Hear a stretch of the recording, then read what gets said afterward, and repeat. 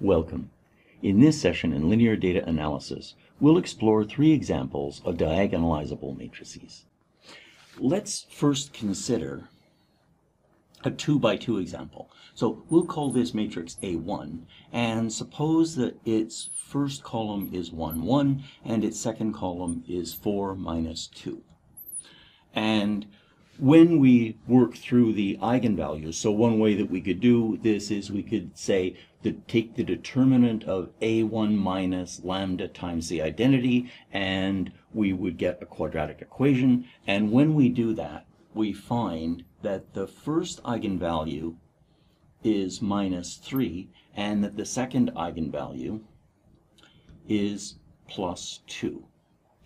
And these eigenvalues are distinct and one of the results of our previous session was that eigenvalues being distinct was a sufficient condition for the matrix to be diagonalizable. And that is, we now expect that the eigenvectors will be a basis.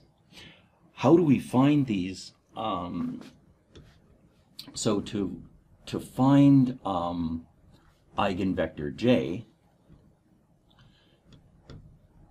we could do a number of things. We could uh, for example, um, use the RREF to find the null space of A minus lambda J I. And this is not a recommended way, but it's certainly a way that you could do it using some of the prerequisite understanding that you have in linear algebra. And this is a very useful equation. What we would do is we would do this twice. We would do this once for lambda 1, which is, so we would say a plus 3 times the identity, and then we would do it again for a minus 2 times the identity.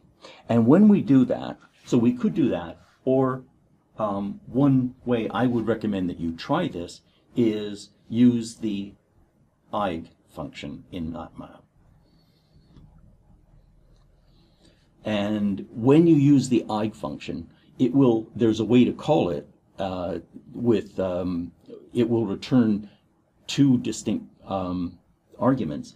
And those return arguments are the eigenvalues and the eigenvectors. It's worth, uh, it's worth reading the, um, the documentation on the eig function. It's a, it can be one of your friends.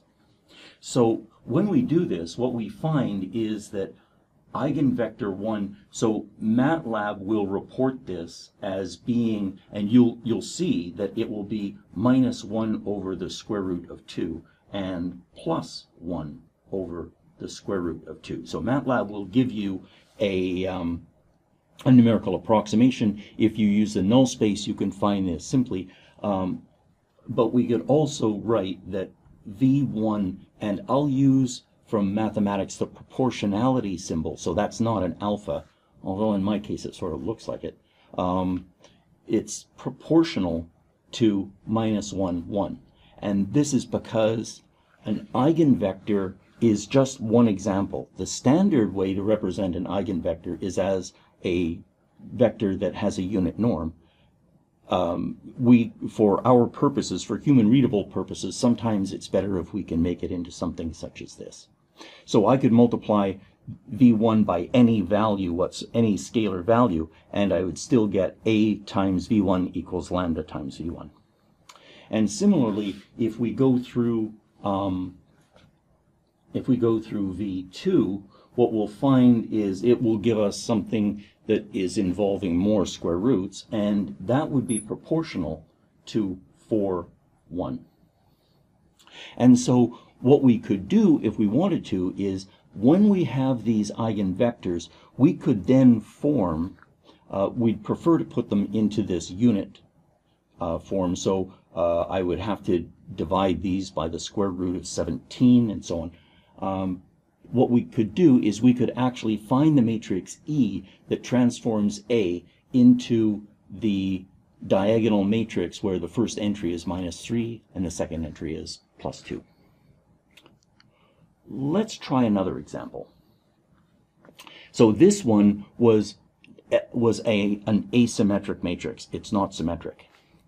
Let's try a matrix that has a different structure, suppose that it's a triang triangular matrix. So suppose that it's 1, 0, and 4 minus 2.